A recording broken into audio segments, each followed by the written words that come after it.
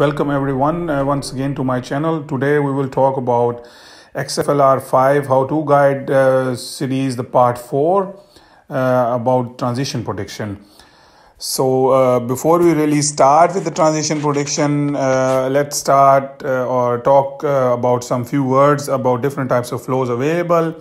So on the right side, you are seeing an airfoil surface and the flow is divided into three parts you can see there is a laminar flow and then a transitional flow and the turbulent flow. So the transition flow, which is of interest at the moment, it is a flow which occurs uh, above uh, critical Reynolds number and uh, it is a flow which oscillates randomly between laminar and turbulent status.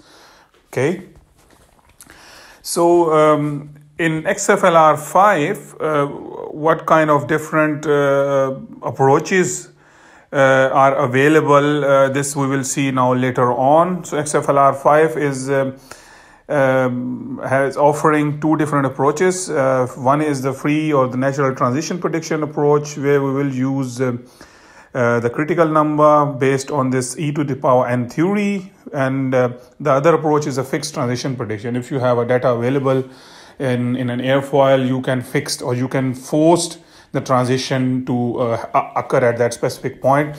For our transition prediction tutorial today, I have chosen an S809 airfoil. It's a very popular airfoil and uh, the description of the airfoil is also mentioned here. And uh, if you see the sketch of the airfoil, it's, it's a kind of a really thick airfoil and it's, uh, it is really having a turbulent flow.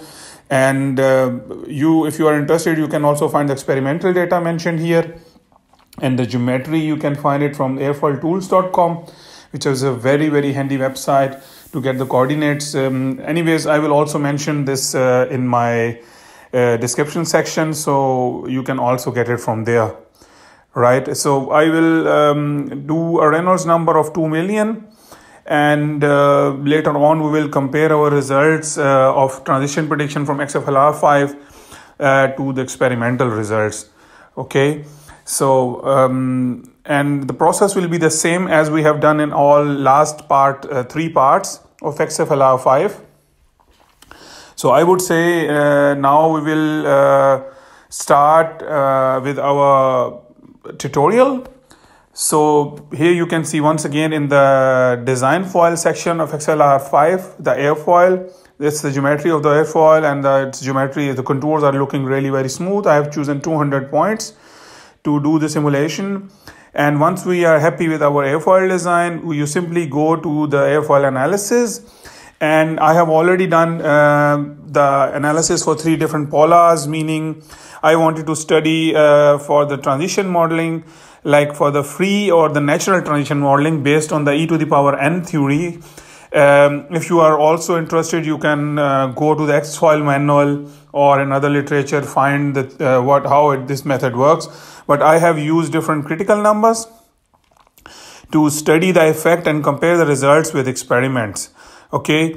And uh, if you have uh, a data available for fixed transition, you can also use the location, uh, tripping location on the upper and the lower side of the airfoil. But we will be studying just uh, the natural transition phenomena here. And you can see I have uh, done for the same Reynolds number, three different critical numbers, n critic it is called in the tool uh, to just uh, see the effect of these um, uh, effect of these uh, critical number on the polars and transition location. Now it can be seen much uh, clearly. I have just changed the colors. If you zoom in on the desired um, plot, for example, this is CL versus the transition location on the top surface. We can see that um, changing uh, by changing the critical number there is a slight variation in the results. Also in terms of uh, lift in the higher lift um, coefficient area uh, there is uh, there is a change.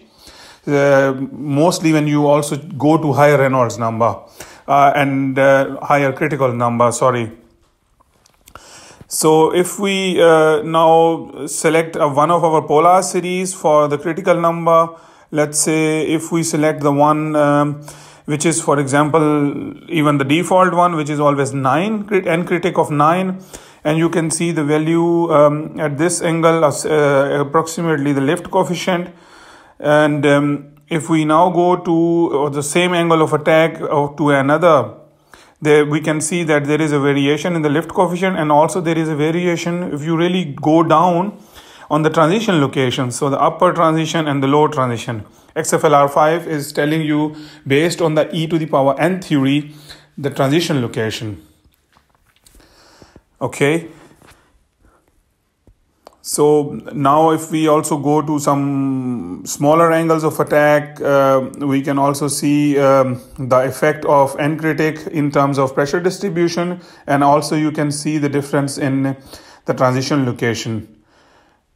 As I am mentioning, uh, I hope you can see this crosshair uh, with a mouse and if we go now to the higher angles of attack, one can see the um, how it really changes uh, the transition location by going for higher angles of attack. Yeah, so now if we go to another angle, higher angle of attack, we see that um, by changing the angle of attack, going to higher angle of attack, the transition really comes to uh, coming really fast to the upstream uh, region. So it's coming near to the leading edge. Yeah, which is uh, which can be seen uh, quite significantly here, and um, if we now compare uh, the results with the experiment, um, as I already mentioned uh, in the start, uh, in my uh, the initial slides, you can also get the experimental data available from the mentioned uh, link. And um, we can see that in terms of lift coefficient or now also in drag coefficient, uh, the results are very good except at higher angles of attack Okay, so now this is the slide uh, for the transition location uh, comparison with the experiment. Uh, here I have chosen to plot uh, the uh, our analysis data XFLR5 results with two critical numbers, one with 9 and the other one is 15. So the top surface is shown here with a solid line and the bottom one is with the dotted line. We can see that um, for the lower surface, the results are really in good agreement. And on the top surface, the one with the default value of critical number is has uh, is really off. So the one with 15 is showing good results. So that's it from now. Don't forget to like the video and subscribe my channel. Stay tuned for new incoming videos. Thank you.